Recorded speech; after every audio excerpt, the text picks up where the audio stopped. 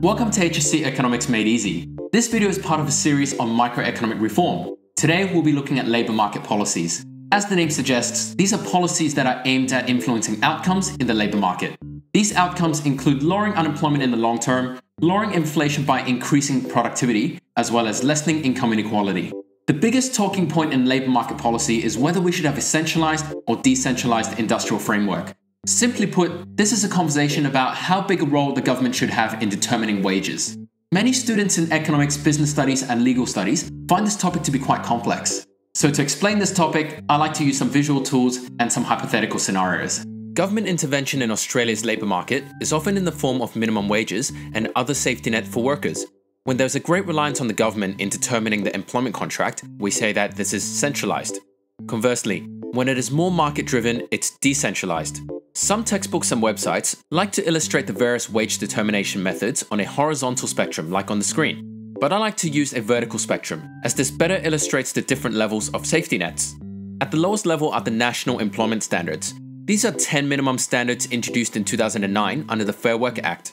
This, along with the minimum wage, are the most centralized standards because anybody who relies purely on these standards is relying on a government body such as the Fair Work Commission to legislate higher wages for them. This applies to the whole nation, no worker in Australia can be paid below the safety net. As you can imagine, it is the least skilled, experienced, or productive worker who needs and advocates for these centralized safety nets. Now, this is where I go into a bit of a hypothetical story session. Let's say the minimum wage is $20. That is, every worker in Australia is paid at least $20 an hour, no matter their industry and how basic their skill set might be. But a hardworking teacher might feel this is unfair. Why should I get paid the same as an unskilled worker when I've spent four years to get a university degree and work in a much more skilled and stressful job? We deserve a higher safety net. So my colleagues and I get our teachers union to negotiate for an industry award that says we must be paid at least $30 an hour. This is an agreement that only applies to the teaching industry, and this higher safety net benefits all teachers. Next, we may have some schools that work harder than others. For example, my school may force all teachers to make more commitments compared to other schools, and we ought to be compensated for that. So, while every other teacher in this industry should be paid $30 an hour, our school union will negotiate for our school to pay us $40. This will be written in our enterprise agreement. As the name suggests, this is a safety net that applies only to this enterprise or school. Finally, within the school, we may have highly distinguished teachers. I, for one, work extra hard so that I could get band sixes and state ranks out of every student. I should get paid even more than every other teacher in my school. So what I'm going to do is negotiate with my employer for a contract that is tailor-made for me. I demand to be paid $80 an hour. This individual contract can be called a common law contract because it is negotiated between the employer and employee and enforced by courts in case it gets breached. This is the most decentralized type of employment contract. As you can imagine, this works for highly skilled workers like myself because we have the bargaining power to negotiate for a contract that pays us well and suits our needs. Businesses often favor more decentralized contracts because the workers' pay is more tied to their productivity.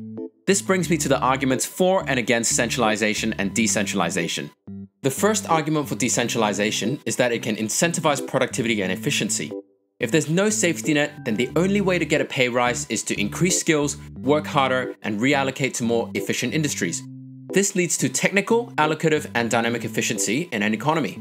Related to this argument is that decentralization means that employers don't have to pay high wages to workers that are unproductive. This cost cutting, along with the increased productivity as mentioned above, means that there'll be less wage push inflation. Lower labor costs could also mean that demand for labor would expand, leading to lower structural unemployment. These are some of the reasons for the decentralization of Australia's labour market since the 1990s, including the introduction of Australian workplace agreements in the mid 2000s, which gave employers more flexibility when negotiating employment contracts. In effect, this was lowering the safety net and shifting workers towards more decentralized contracts. The economy enjoyed the above benefits of decentralization, but there was a lot of backlash from low skilled workers.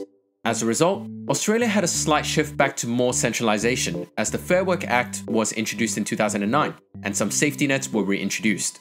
What were the reasons for this centralisation? Well, one of the problems of decentralization was that it meant that many workers would lose bargaining power, many of these being already low skilled and low income workers. So decentralization worsens income inequality, and centralisation aims to protect the low income earners and lessen the wage gap.